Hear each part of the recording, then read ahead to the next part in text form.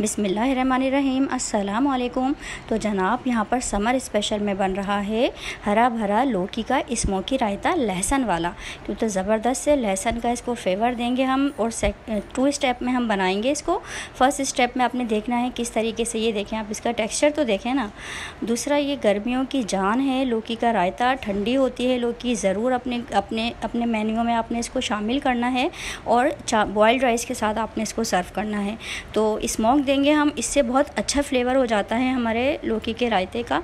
तो full video आपने watch करनी है और देखना है इस ज़बरदस्त से समर स्पेशल लौकी के रायते को। अपने घर में भी ज़रूर इसको ट्राई करना है और ये देखें, इसका कॉम्बिनेशन बॉयल्ड राइस के साथ या ज़ीरा राइस आप बनाएँ, इसके साथ बहुत बेहतरीन होता है। तो आप देखते हैं इस ज़बरदस्त से समर स्पेशल लहसुन वाले लौकी के स्मोकी रायते की। हमें देखें क्या क्या सामान चाहिए होगा। ये देखें, एक मीडियम साइज़ की ये लौकी है।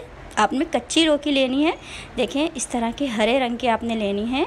क्योंकि देखिए, लौकी को हमने इस तरह की जो कच्ची लौकी होती है ना, इस तरह के इसमें छोटे बीज होते हैं। तो बड़े बीज वाली लौकी हमने नहीं लेनी है, उससे हमारी लौकी जो है वो देर से गलती है, उसमें टेस्ट नहीं होता।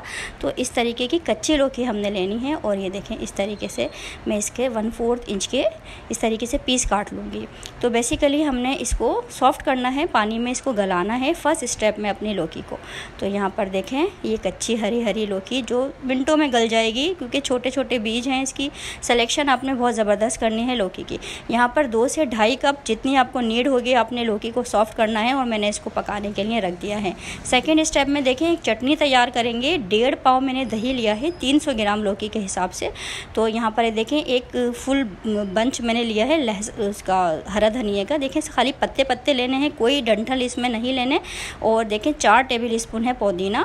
और पाँच से छः आपने मलिर की तेज़ वाली हरी मिर्ची लेनी है। फुल बंच आपने लेना है लहसन का। वन टी काली मिर्च और वन टी ज़ीरा।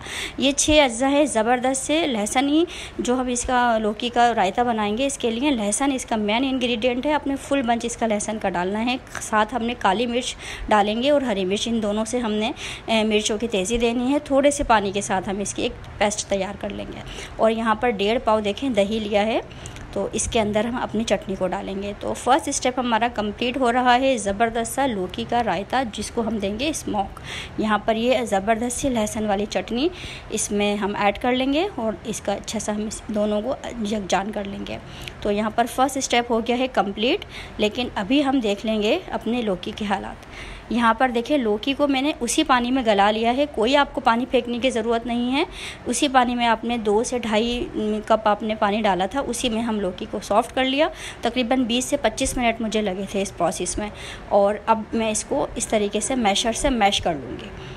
तो देखें, बहुत आसानी से मैश हो जाता है ये। कोई हमें ग्लैंडर में इसको पीसने की ज़रूरत नहीं है। बस उसी पैन में आपने ढाई से तीन कप आपने पानी डाला, उसी में 20 मिनट में ये सॉफ्ट हो जाती है।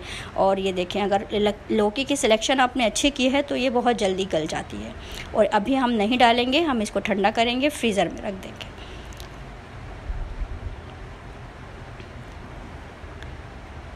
और यहाँ पर मैंने देखें फ्रीज़र से इसको निकाल दिया है और ये काफ़ी ठंडी हो चुकी है। इस कंडीशन में आकर हम अपने लौकी के रायते में ऐड करेंगे और इसको अच्छी तरीके से मिक्स कर लेंगे।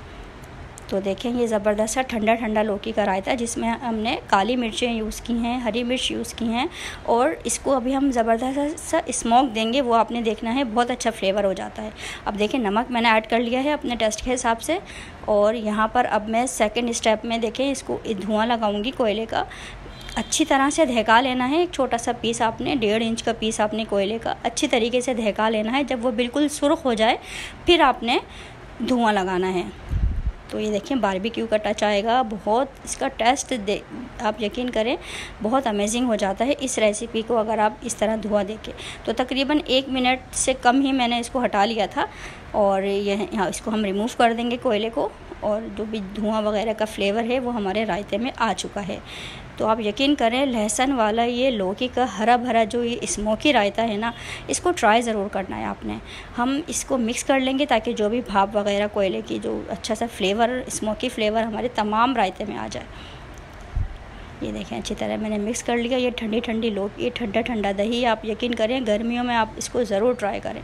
और यहाँ पर पहले मैं इसको भगाड़ लगाने से पहले मैं इसको शिफ्ट कर लूँगी अपने सर्विंग बॉल में।